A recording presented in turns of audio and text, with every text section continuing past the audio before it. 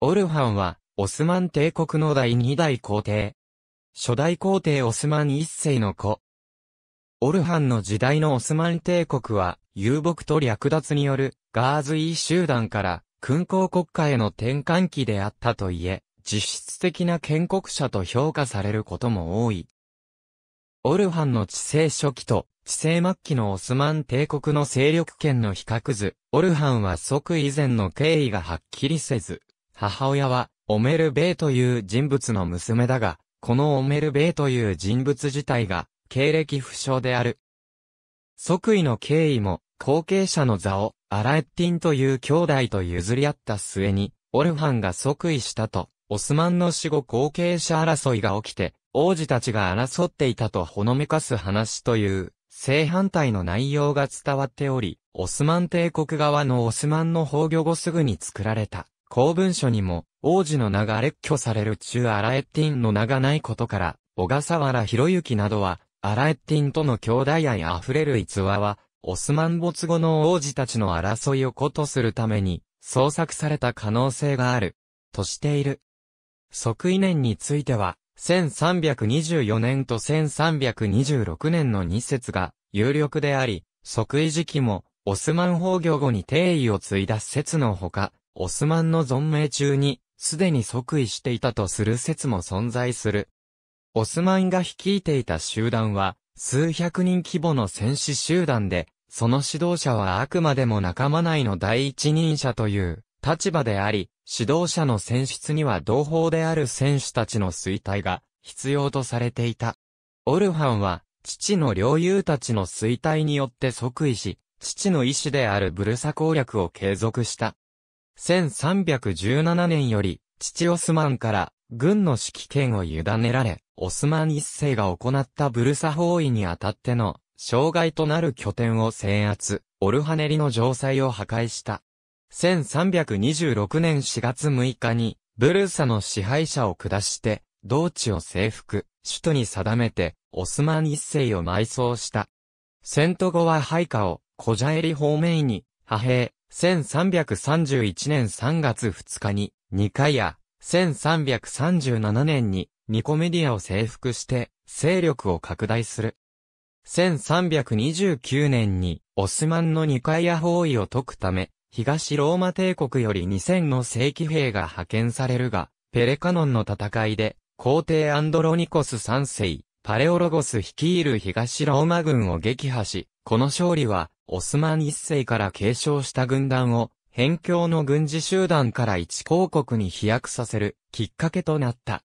ニカイアの攻撃は苛烈なものであり、ニカイア攻略直後にオルファンと面会したイブン・バットゥータは大旅行期で街が荒廃し、人口が流出して減少した様子を伝えた。ニカイアの施設で、かろうじて破壊を免れた二重の城壁は、王子の姿を今に止めている。1335年から1345年の間にバルケスイルのカレスイ公国を併合。カレスイ君公アジランの死後に起きた二人の王子の争いに干渉した結果と言われるこの併合によって、軽装艦船を有するカレスイの海軍をそのまま手に入れ、バルカン半島進出の手段を獲得した。このように、オスマン帝国と東ローマ帝国の間には軍事衝突が頻繁に起きていたが、当時東ローマ帝国は、オスマン帝国よりもサルハン公国、アイドゥン公国を危険視しており、やがて両国の間に同盟関係が生まれる。オルハンと東ローマ皇帝アンドロニコス3世が初めて対面したのは1333年のニコメディア包囲中と言われ、カレスイ公国を牽制するために、両国は同盟した。1341年のアンドロニコス3世没後、東ローマ帝国では、ヨハネス5世、パレオロゴスとヨハネス6世、カンタクゼノスの間で帝位をめぐる内紛が起こり、二国間の同盟は、より重要性を増した。ヨハネス5世とヨハネス6世はいずれも、アナトリア半島のベイリク国家と同盟を結び、オルハンは、その一方である、ヨハネス6世に味方して、彼の登極を助けた。1346年、オルハンは、ヨハネス6世の娘、テオドラを妻に迎え、ヨハネス6世に敵対する、ヨハネス5世及び、セルビア王国を攻撃するため、6000の兵士を、バルカン半島に、派遣、1337年に、オスマン軍は初めてヨーロッパに渡り、トラキアで略奪を行った。バルカン半島での軍事作戦においては、長子のスレーマンの活躍が大きく、セルビア王ステファン・ウロシュ4世ドゥシャンによる、サロニカ攻撃の阻止、チョルルの制圧は、いずれも、スレーマンの軍功である。1352年から1353年の間に、ヨハネス6世への援助と引き換えにオルハンは、カリポリス付近のチンペ城塞を獲得した。1354年3月2日に、カリポリス一帯は、大地震に見舞われ、カリポリスの町と城壁も被害を被ると、スレーマンはこの地震に乗じて、カリポリスとテキルダー、ボラユル、マルカラなどのマルマラ海沿いの地域を占領した。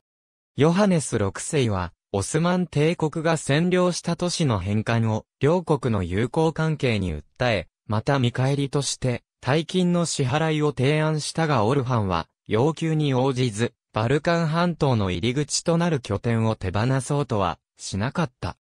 一連のバルカン半島へのオスマンの進出は、蛮族の入港とは全く異質のものであり、こうしたオスマン側の動向を受けて、ヨハネス5世は、オルハンのコハリルに娘を嫁がせ、オスマン帝国との関係強化を図った。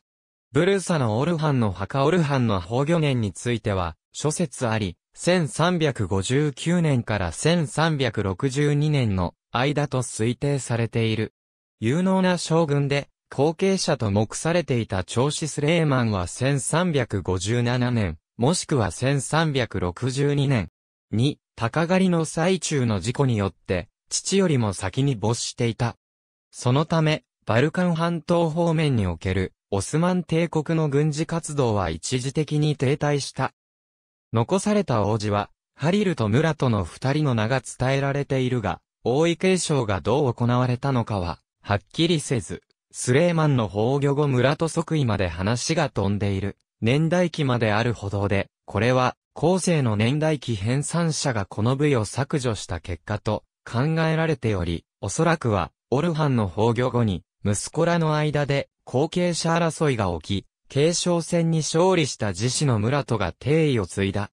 オルハンの知性に、オスマン帝国は、支配領域を広げるが、支配下に入れた地域に暮らす、低住民、都市を往来する商人や旅人といった、これまでオスマンが率いていた、遊牧民とガーズイーとは異質の人々を統治する、政治機構を整備する必要に迫られた。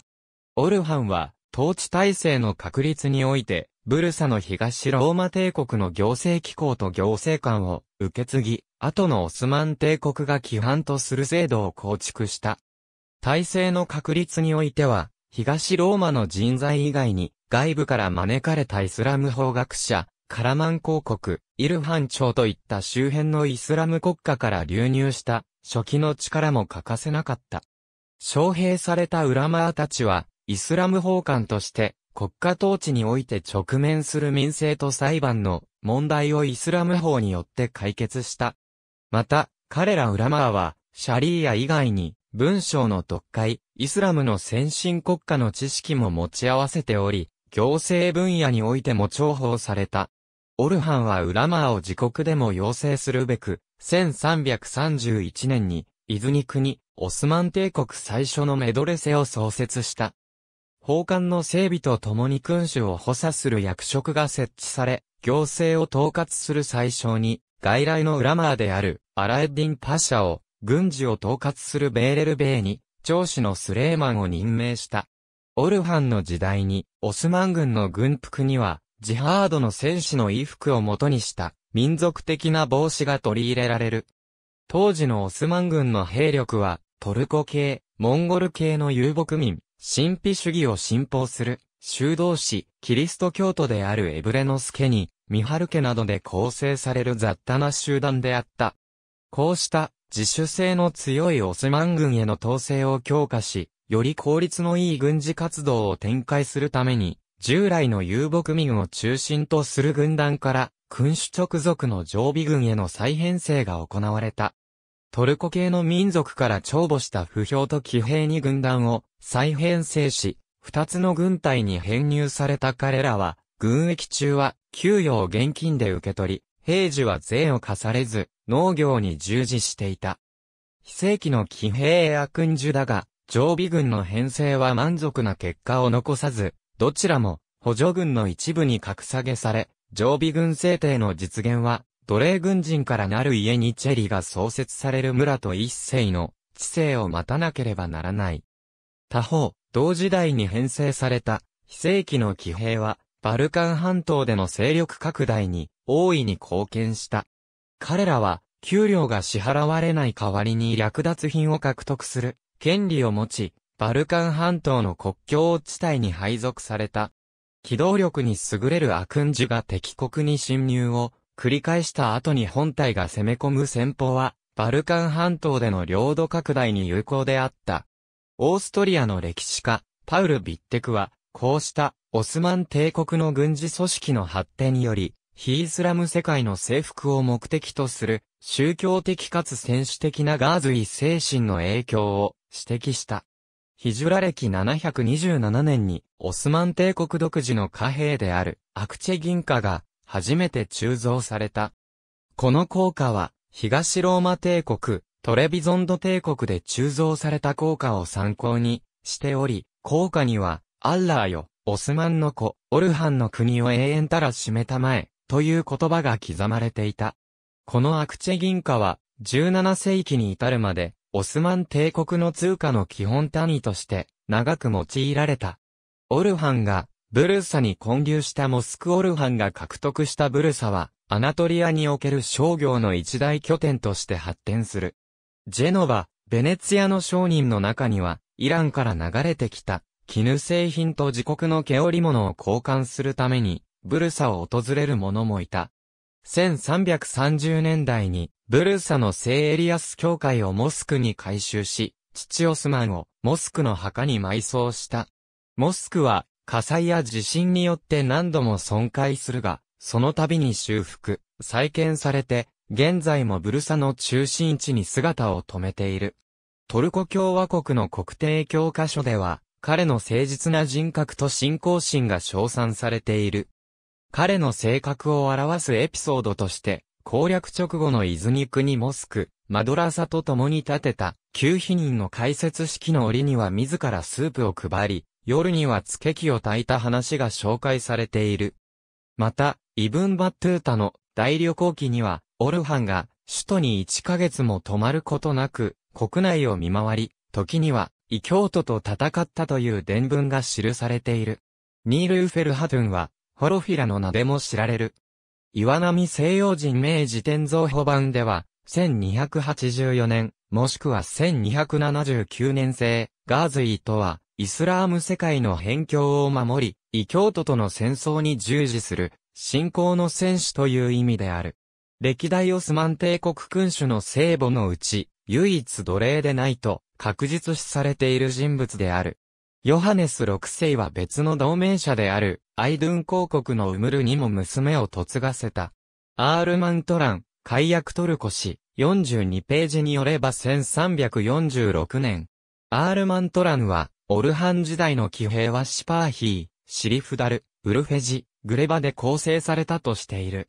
直木慶太郎によれば、不評は、移民、騎兵は、古参の将兵より選抜された。家にチェリが創設された年代に、定説はないが、時代の村と一世の知性と推定する研究者が多い。とはいえ、アールマントランのように、オルハンの知性に、家にチェリが創設されたとする研究者も存在する。